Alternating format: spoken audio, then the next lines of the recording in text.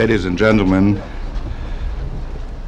the President last evening presented the outlines of the agreement, and by common agreement between us and the North Vietnamese, we are today releasing, we have today released the text, and I'm here to uh, explain, to go over briefly what these texts uh, contain and uh, how we got there, what we have tried to achieve in recent months, and where we expect to go from here. Let me begin by going through the agreement which you have read. The agreement, as you know, is in uh, nine chapters. The first affirms the independence, sovereignty, unity, and territorial integrity as recognized by the 1954 Geneva Agreements on Vietnam, uh, agreements which established uh, two zones divided by a, uh, a military demarcation line. Chapter 2 deals with a ceasefire. The ceasefire will go into effect at 7 o'clock Washington time on Saturday night. Uh, the principal provisions of Chapter 2 deal with uh, permitted acts uh, during the ceasefire and with what the obligations of the various parties are with respect to the ceasefire. Chapter 2 also deals with the withdrawal of American and all other foreign forces from Vietnam within a period of 60 days, and it specifies the forces that have to be withdrawn. These are, in effect, all military personnel and all civilian personnel dealing in with uh, in with uh, combat operations. We are permitted to retain economic advisors and uh, civilian technicians serving in uh, certain of the uh, of the military uh, branches. Chapter 2 further deals with the uh, provisions for resupply and for the introduction of outside forces.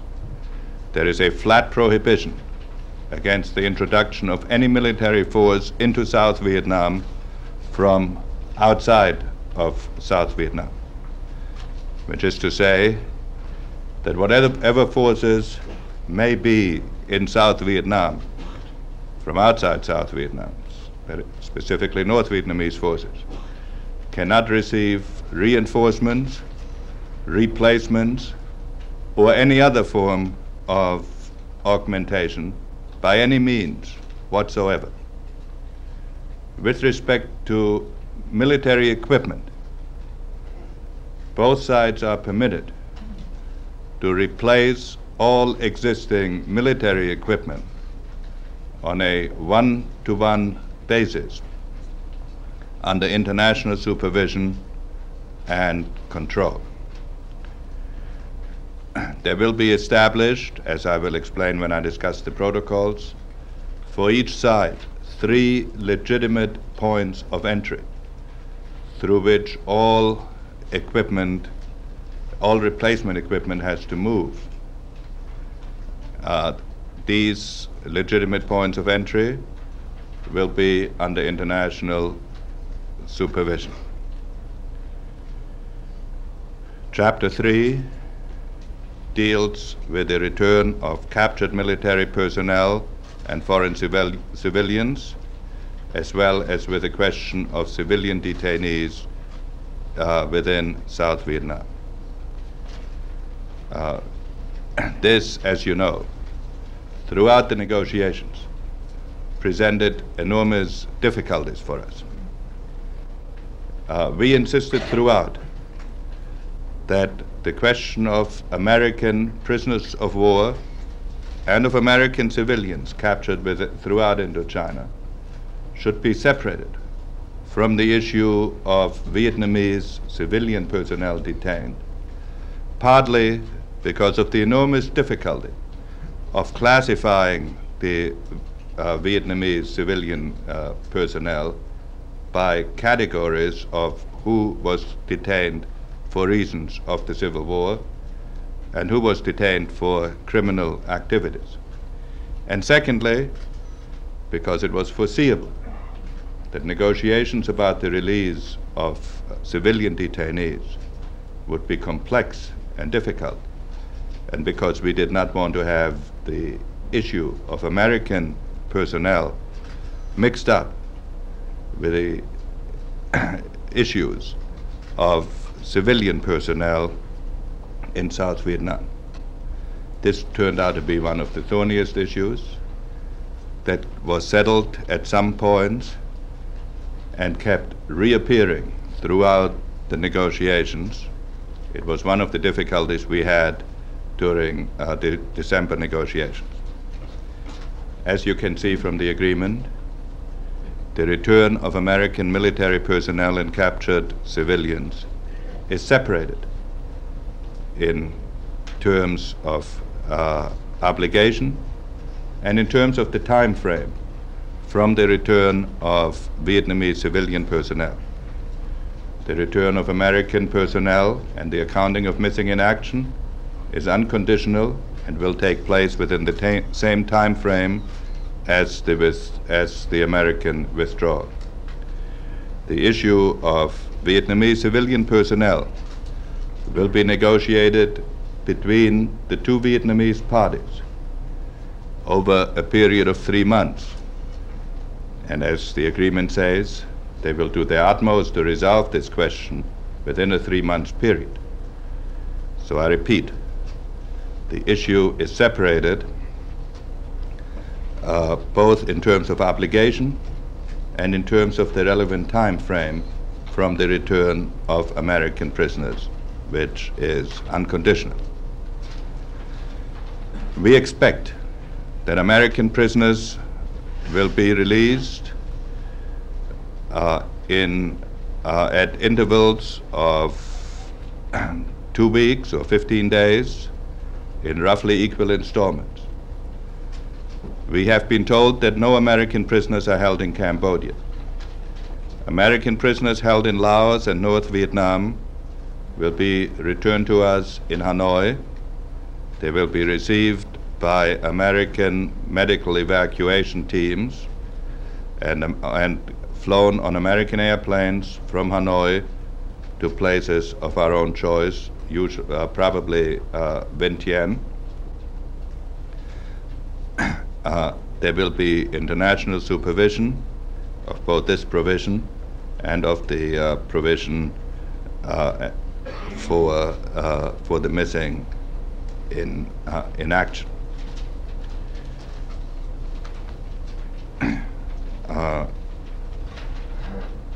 And all American prisoners uh, will, of course, be released within 60 days of the signing of the agreement. The signing will take place on uh, January 27th in two installments, the significance of which I will explain to you uh, when I have run through the provisions of the agreement and the associated uh, protocols. Chapter 4 of the agreement deals with the right of the South Vietnamese people to self determination. Its first provision contains a joint statement by the United States and North Vietnam, in which those two countries jointly recognize the South Vietnamese people's right to self determination, in which those two countries jointly affirm that the South Vietnamese people shall decide for themselves the political system that they uh, shall choose and jointly affirm that no foreign country shall impose any political tendency on the South Vietnamese people. the other principal provisions of the agreement are that in implementing the South Vietnamese people's right to self determination, the two South Vietnamese parties will decide, will agree among each other on free elections for offices to be decided by the two parties at a time to be decided by uh, the two parties. These elections will be supervised first and organized first by an institution which has the title of National Council for National Reconciliation and Concord, whose members will be equally appointed by the two sides, which will operate on the principle of unanimity, and which will come into being after negotiation between the two parties who are obligated by this agreement to do their utmost to bring this institution into being uh, within, within 90 days. Leaving aside the technical jargon, the significance of this agreement, of this part of the agreement is that the United States has consistently maintained that we would not impose any political solution on the people of South Vietnam. The United States has consistently maintained that we would not impose a coalition government or a disguised coalition government on the people of South Vietnam.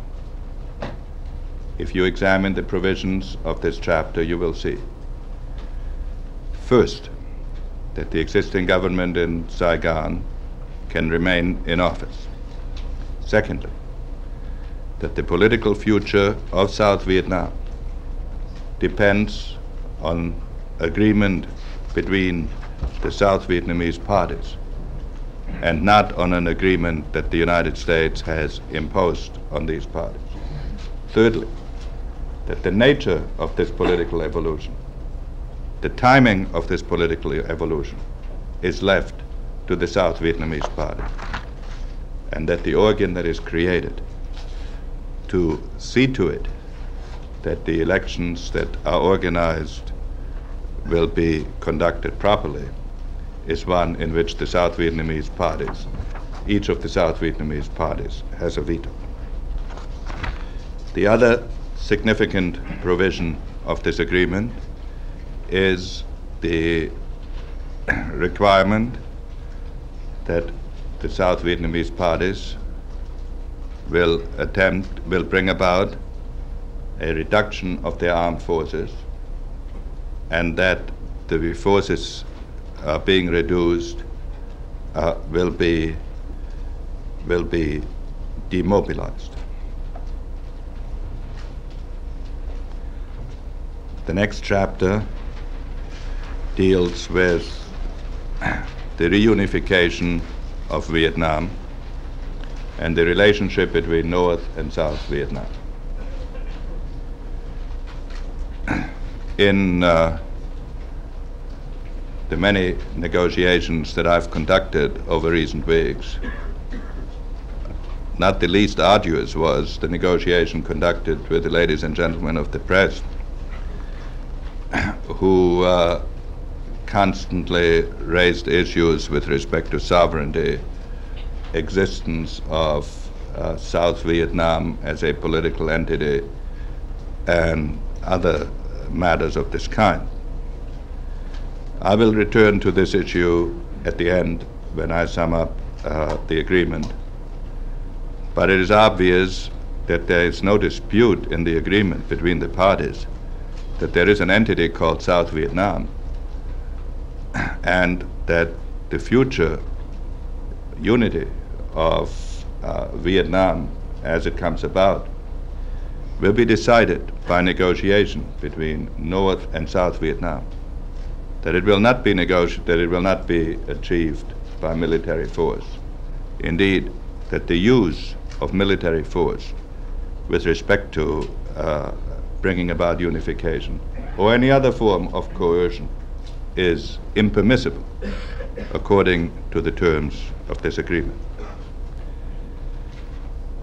Secondly, there are specific provisions in this chapter with respect to the demilitarized zone.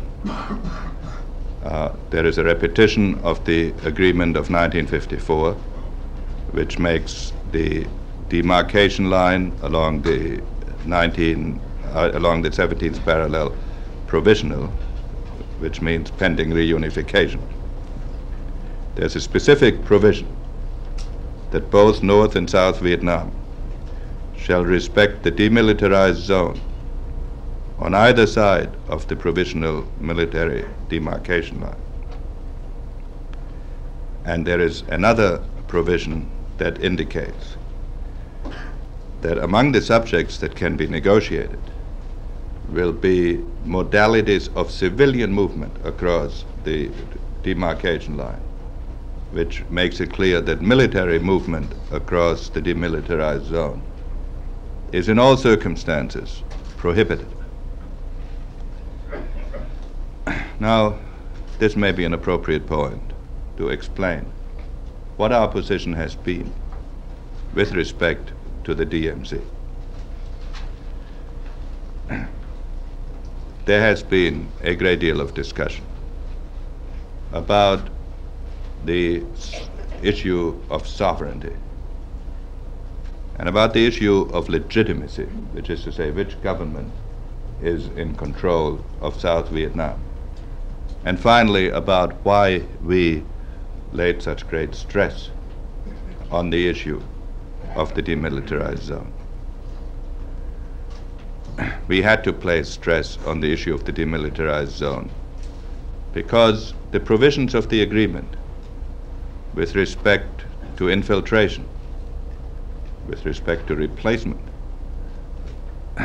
with respect to any of the military provisions would have made no sense whatever if there was not some demarcation line that defined where South Vietnam began. If we had accepted the proposition that would have in effect eroded the demilitarized zone, then the provisions of the agreement with respect to restrictions about the introduction of men and materiel into South Vietnam would have been unilateral restrictions applying only to the United States and only to our allies. And therefore, if there was to be any meaning to the separation of military and political issues, if there was to be any permanence to the military provisions that had been negotiated, then it was essential that there was a definition of where the obligations of this agreement began. And uh, as you can see from the text of the agreement, uh, the principles that we defended were essentially achieved. Chapter 6 deals with the international machinery and we will uh, discuss that when I discuss when I uh, talk about the associated protocols of uh, of the agreement. Chapter seven deals with Laos and Cambodia. Now, the problem of Laos and Cambodia has two parts. One part concerns those obligations which can be undertaken by the parties signing the agreement. That is to say, the three Vietnamese parties and the United States. Those measures that they can take which affect the situation in Laos and Cambodia. A second part of the agreement of uh, the situation in Laos has to concern the uh, nature of the civil conflict that is taking place within Laos and Cambodia, and the solution of which, of course, must involve as well the Laotian parties, the two Laotian parties, and the innumerable Cambodian factions. Let me talk about the provisions of the agreement with respect to Laos and Cambodia and our firm expectations as to the future in Laos and Cambodia. The provisions of the agreement with respect to Laos and Cambodia reaffirm as an obligation to all the parties the provisions of the 1954 agreement on Cambodia and of the 1962 agreement on Laos, which affirm the neutrality and right to self-determination of those of, two, of those two countries. And they are therefore consistent with our basic position with respect also to South Vietnam. In terms of the immediate conflict, the provisions of the agreement specifically prohibit the use of Laos and Cambodia for military and any other operation against any of the signatories of the Paris Agreement or against any other country. In other words, there is a flat prohibition against the use of base areas in Laos and Cambodia. There is a flat prohibition against the use of Laos and Cambodia for infiltration into Vietnam, or for that matter, into any other country.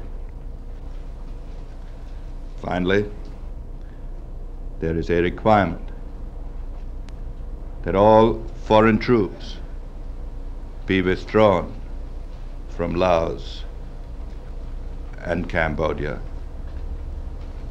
And it is clearly understood that North Vietnamese troops are considered foreign with respect to Laos and Cambodia. Now, as to the conflict within these countries, which could not be formally settled in an agreement which is not signed by the parties of that conflict. Let me make this statement without elaborating it.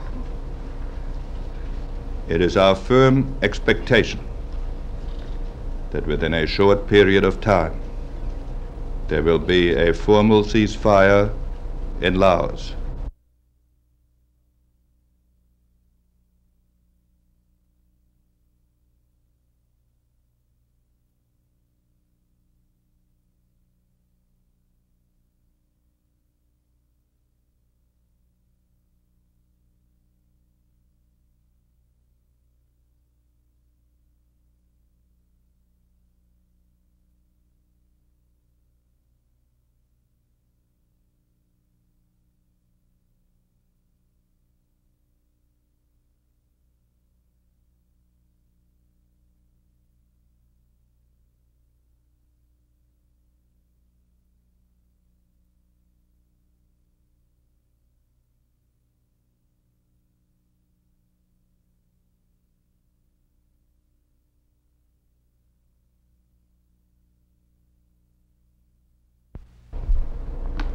relevant to the execution of this agreement. Our side will take the appropriate measures to prevent the to uh, will take the appropriate measures to indicate that it will not attempt to change the situation by force.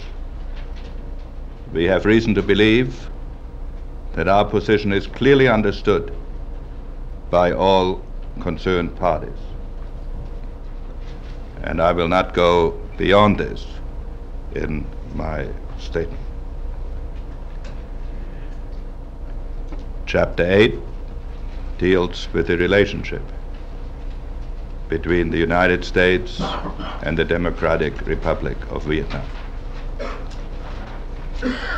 As I have said in my briefings on October 26 and on December 16th, and as the President affirmed on many occasions, the last time in his speech last evening. The United States is seeking a peace that heals. We have had many armistices in Indochina. We want a peace that will last.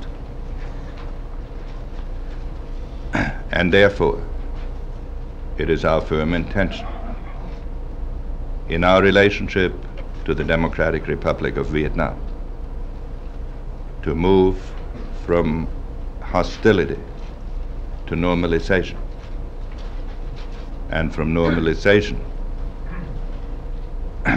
to conciliation and cooperation. And we believe that under conditions of peace, we can contribute throughout Indochina to a realization of the humane aspirations of all the peoples of Indochina. And we will, in that spirit, perform our traditional role of helping people realize these aspirations in peace. Chapter 9 of the agreement is the usual implementing thing, provision. So much for the, uh, for the agreement. Now let me say a word about the protocols.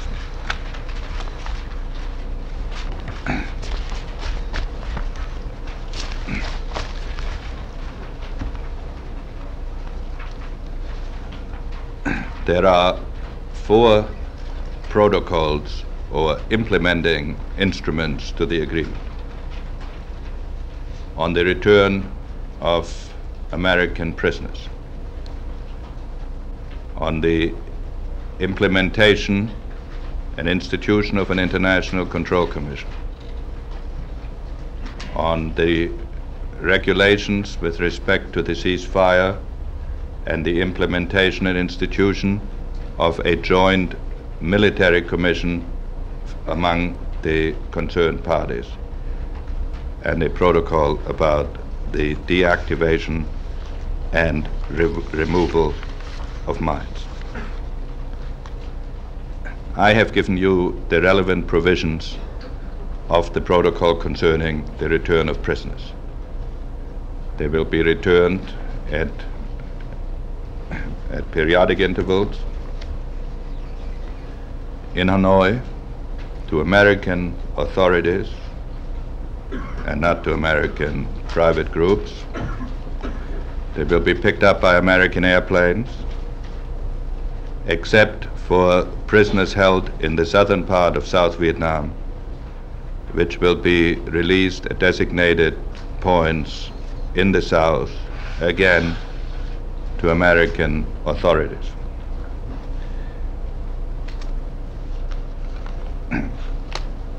we will receive on Saturday, the day of signing of the agreement, a list of all American prisoners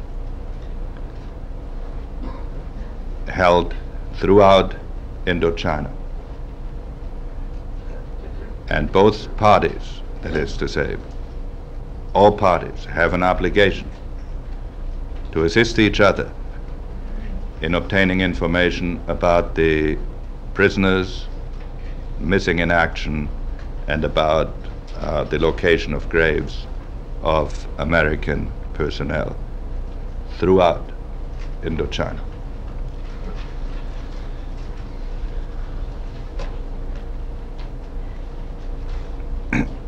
The uh, International Commission has the right to, to visit the last place of detention of the prisoner as well as the place from which they are released. Now, to the International Control Commission. You will remember that one of the reasons for the impasse in December was the difficulty of agreeing with the North Vietnamese about the size of the International Commission, its function, or the location of its teams. On this occasion, there is no point in rehearsing all the differences. It is, however, useful to point out that at that time, the proposal of the North Vietnamese was that the International Control Commission have a membership of 250, no organic logistics or communication, dependent entirely on its authority to move on the party it was supposed to be uh, investigating, and over half of its personnel was supposed to be located in Saigon, which is not the place where most of the infiltration that we were concerned with was likely to take place. Uh, we have distributed to you an outline of the basic structure of this commission. Briefly stated, there is its total number is 11 is 1160 drawn from Canada, Hungary, Indonesia and Poland. It has a headquarters in Saigon. It has seven uh, regional teams. 26 teams based in localities throughout Vietnam, which were chosen uh, either because forces were in contact there or because we estimated that these were the areas where the violations of the ceasefire were more, most probable. There are 12 teams at border crossing points there are seven teams that are set aside for points of entry which have yet to be chosen for the uh, there is one team one reinforced team located at the demilitarized zone and its responsibility extends along the entire uh, demilitarized zone it is in fact a team and a half. It is 50% larger than a normal uh, than a normal uh, border team, and it represents one of the many compromises that were made between our insistence on two teams, their insistence on one team, and uh, by a brilliant stroke we settled on a team and a half. At, uh, with respect to the operation of the, uh, of the International Commission, it is supposed to operate on the principle of unanimity, which is to say that its reports, if they are commission reports, have to be have to uh, have the approval of all four members. However, each member is permitted to submit its own opinion, so that as a practical matter, any member of the Commission can make a finding of a violation and say, submit a report uh, in the first instance to the parties. The International Commission will report for the time being to the four parties to the agreement we expect an international conference, an international conference will take place. We expect at the foreign ministers level within a month of signing the agreement. That international conference will establish a relationship between the International Commission and itself or any other international body that is mutually agreed upon, so that the International Commission is not only reporting to the parties that it is investigating, but for the time being, until the International Conference has met, there was no other practical group to which the International Commission could report. In addition to this, to this international group, there are two other institutions that are uh, supposed to supervise the ceasefire. There is, first of all, uh, an institution called the Four Party Joint Military Commission, which is composed of ourselves and the four and the three Vietnamese parties, which is located in the same places as the International Commission, are charged with roughly uh, the same functions. But as a practical matter, uh, it is supposed to conduct the preliminary investigations. Its disagreements are automatically referred to the International Commission, and moreover, any party can request the International Commission to conduct an investigation regardless of what the four party commission does and regardless of whether the four party commission has completed its investigation or not. After the United States has completed its withdrawal, the four party military commission will be transformed into a two party commission composed of the uh, two uh, South Vietnamese parties.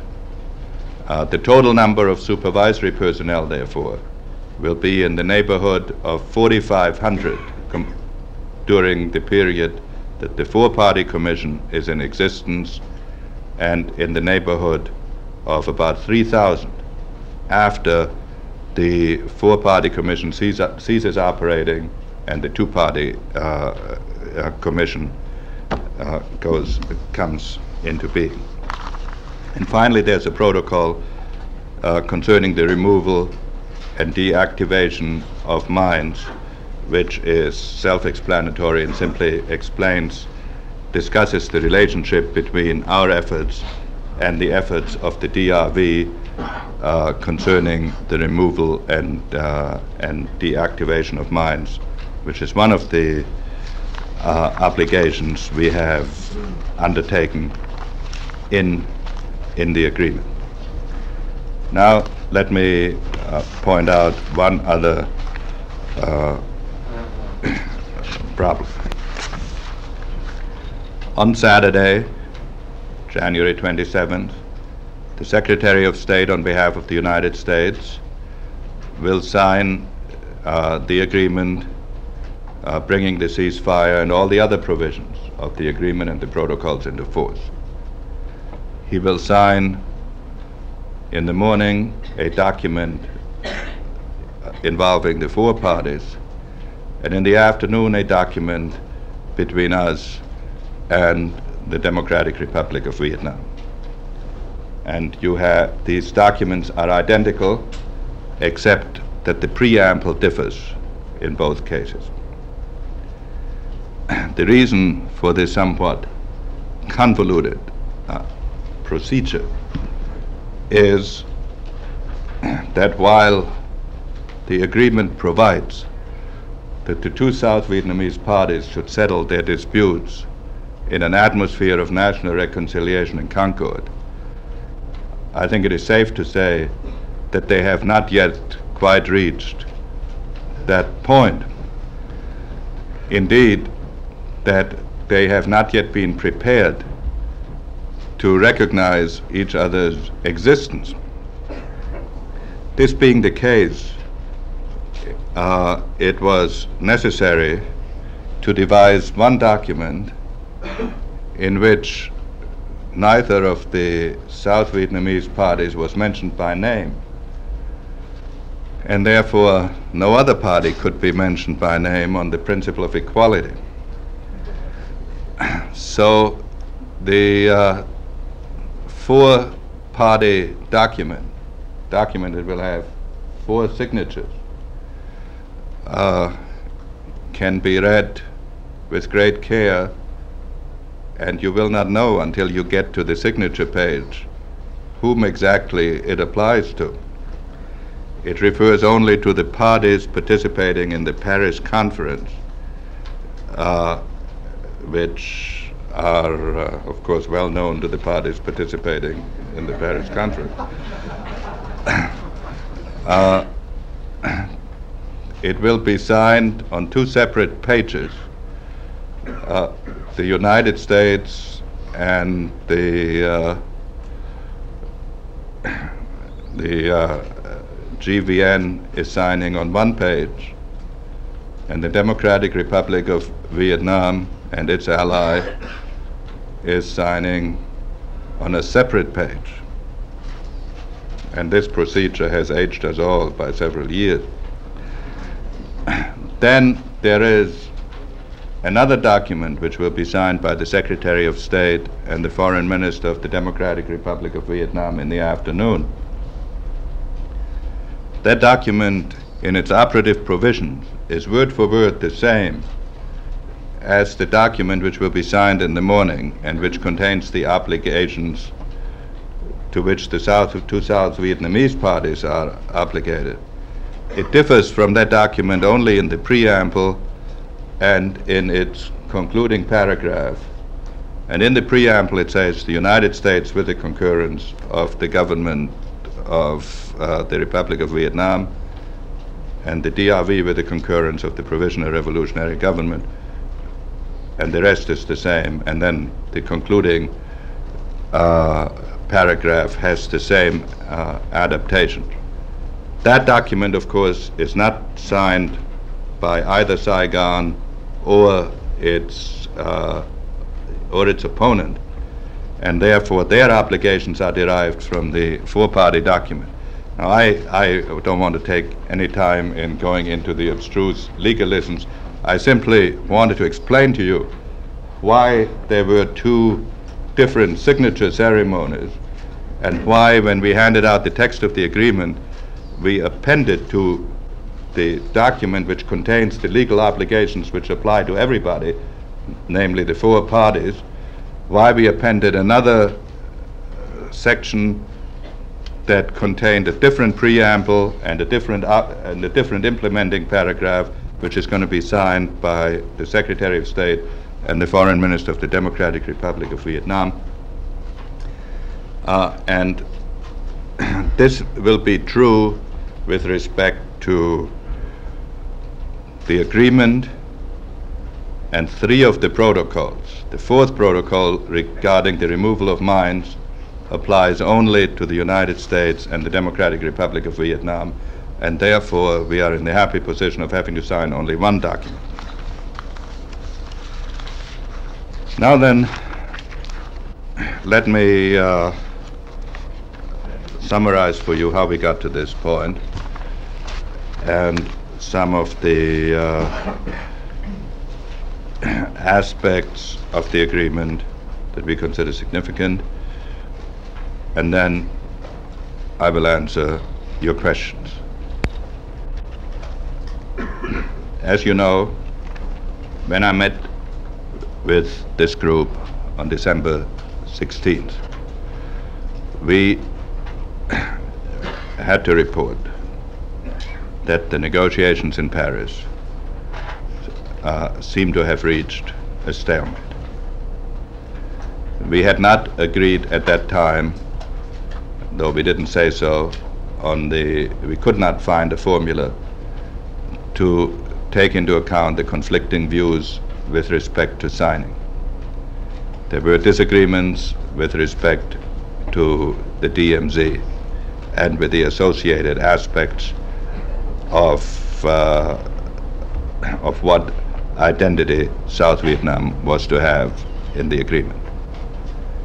There was a total deadlock with respect to the protocols, uh, which I summed up in the uh, December 16th uh, press conference. The North Vietnamese approach to international control and ours were so totally at variance that it seemed impossible at that point to come to any satisfactory uh, conclusion. And there began to be even some concern that the separation which we thought we had achieved in October between the release of our prisoners and the question of civilian prisoners in South Vietnam was breaking down. when we reassemb- reassembled on January 8th, we did not do so in the most cordial atmosphere that I remember. However, by the morning of January 9th,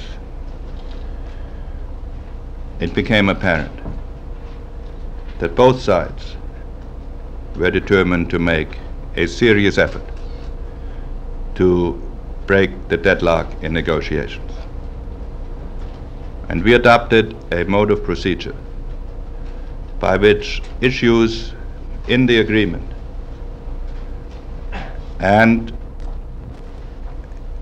issues of principle with respect to the protocols were discussed at meetings between Special Advisor Le Duc Tho and myself, while concurrently an American team headed by Ambassador Sullivan and a Vietnamese team headed by Vice Minister Thach would work on the implementation of the principles as they applied to the protocols.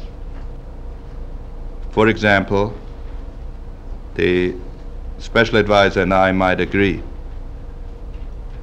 on the principle of border control posts and their number.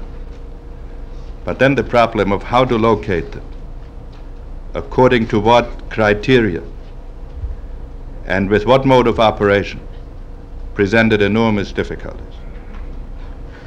And let me, on this occasion, also point out that these negotiations required the closest cooperation throughout our government between the White House and the State Department, between all the elements of our team, and that therefore the usual speculation of who did what to whom is really extraordinarily uh, misplaced without a cooperative effort by everybody.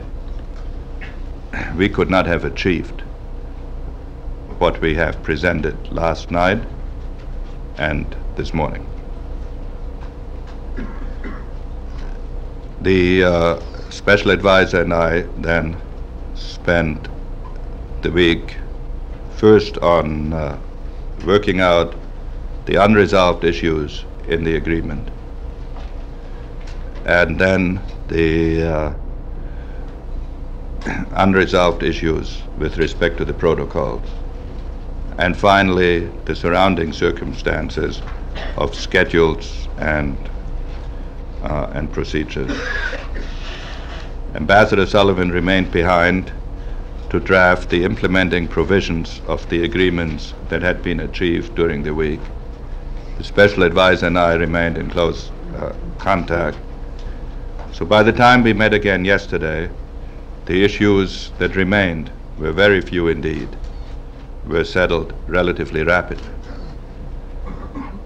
And, while, and I may, on this occasion, also point out that while the North Vietnamese are the most difficult people to negotiate with that I have ever encountered, when they do not want to settle, they are also the most effective that I have dealt with when they finally decide to settle.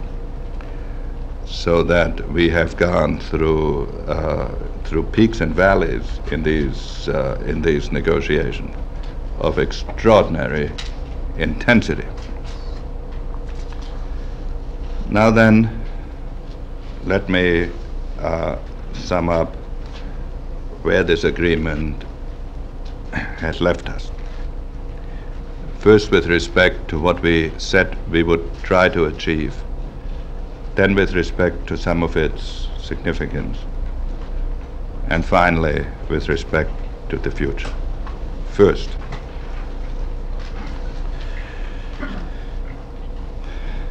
when I met this group on October 26 and delivered myself of some epigrammatic phrases.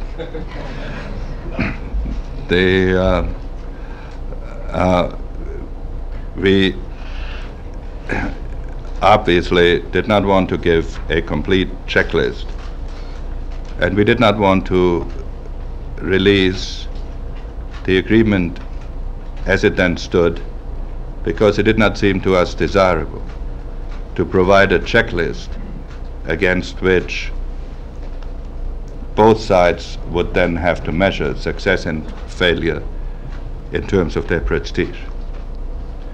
At that time, too, we did not say that it had always been foreseen that there would be another three or four days of negotiation after this tentative agreement had been reached. And the reason why we asked for another negotiation was because it seemed to us at that point that for a variety of reasons, which I explained then and again on December 16th, those issues could not be settled within the time frame that the North Vietnamese expected. It is now a matter of history, and it is therefore not essential to go into a debate of on what we based this judgment. But that was the reason why the agreement was not signed on October 31st, and not any of the speculations that have been so much in print and on television. Now, what did we say on October 26 we wanted to achieve? We said, first of all, that we wanted to make sure that the control machinery would be in place at the time of ceasefire. We did this because we had information that there were plans by the other side to mount a major offensive to coincide with the signing of the ceasefire agreement. This objective has been achieved by the fact that the protocols will be signed on the same day as the agreement, by the fact that the International Control Commission and the four party military commission will meet within 24 hours of the agreement going into effect, or no later than Monday morning Saigon time, that the regional teams of the International Control Commission will be in place 48 hours thereafter, and that all other teams will be in place within 15 and a maximum to 30 days after that. Second, we said that we wanted to compress the time interval between the ceasefires we expected in Laos and Cambodia and the ceasefire in Vietnam. For reasons which I have explained to you, we cannot be as specific about the ceasefires in Laos and Cambodia as we can about the agreements that are being signed on Saturday. But we can say with confidence that the, that the formal ceasefire in Laos will go into effect in a considerably shorter period of time than was envisaged in uh, October. And since the ceasefire in Cambodia depends to some extent on developments in Laos, we expect the same to be true there. We said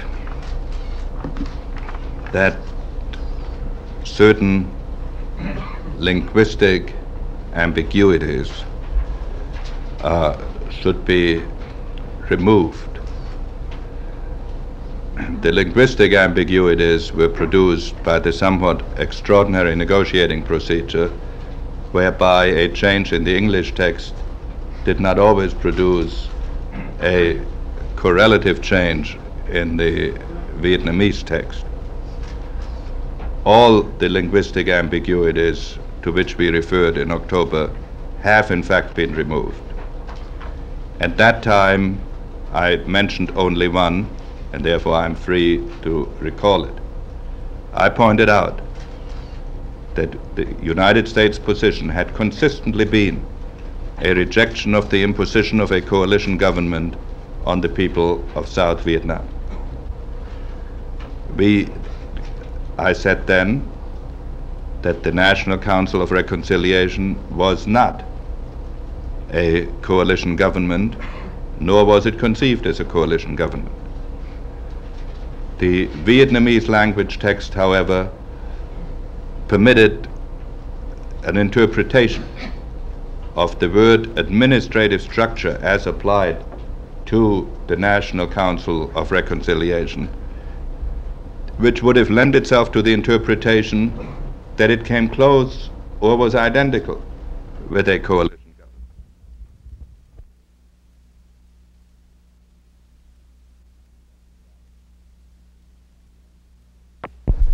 That we had to find a procedure for signing which would be acceptable to all the parties for whom obligations uh, were involved. Uh, this has been uh, achieved. I pointed out on October 26 that we would seek greater precision with respect to certain obligations, particularly without spelling them out as they applied to the demilitarized zone and to the obligations with respect to Laos and Cambodia. That too has been achieved. And I pointed out in December that we were looking for some means, which, some expression, which would make clear that the two parts of Vietnam would live in peace with each other, and that neither side would impose its solution on the other by force. This is now explicitly provided, and we have achieved formulations in which, in a number of the paragraphs, there's Article 14, 18E, and 20. There are specific references to the sovereignty of South Vietnam. There are specific references, moreover, to the same thing in Article 6 and Article 11 of the ICCS protocol. There are specific references to the right of the South Vietnamese people to self determination. And therefore, we believe that we have achieved the substantial changes that we mentioned on October, or, or, adaptations that we asked for on October 26. We did not increase our demands after October 26, and we substantially uh, achieved the clarifications which we sought. Now then, it is obvious that a war that has lasted for 10 years will have many elements that cannot be completely satisfactory to all the parties concerned. And in the two periods where the North Vietnamese were working with dedication and seriousness on a conclusion. The period in October and the period after we resumed talks in January 8th. It was always clear that a lasting peace could come about only if neither side sought to achieve everything that it had wanted. Indeed, that stability depended on the relative satisfaction and therefore on the relative dissatisfaction of all of the parties concerned. And therefore, it is also clear that when whether this agreement brings a lasting peace or not depends not only on its provisions, but also on the spirit in which it is implemented. It will be our challenge in the future to move the controversies that could not be stilled by any one document from the level of military conflict to the level of positive human aspirations and to absorb the enormous talents and dedication of the people of Indochina in tasks of construction rather than in tasks of destruction. We will make a major effort to move to create a framework where we hope in a short time the animosities and the hatred and the suffering of this period will be seen as aspects of a past and where the debates concern differences of opinion as to how to achieve positive goals. Of course, the hatreds will not rapidly disappear. And of course, people who have fought for 25 years will not easily give up their objectives, but also people who have suffered for 25 years may at last come to know that they can achieve their real satisfaction by other and less brutal means. The President said yesterday that we have to remain vigilant, and so we shall. But we shall also dedicate ourselves to positive efforts. And as for us at home, it should be clear by now that no one in this war has had a monopoly of anguish, and that no one in these debates has had a monopoly on moral insight. And now that at last we have achieved an agreement in which the United States did not prescribe the political future to its allies. An agreement which should preserve the dignity and the self respect of all of the parties. That together with healing the wounds in Indochina, we can begin to heal the wounds in America.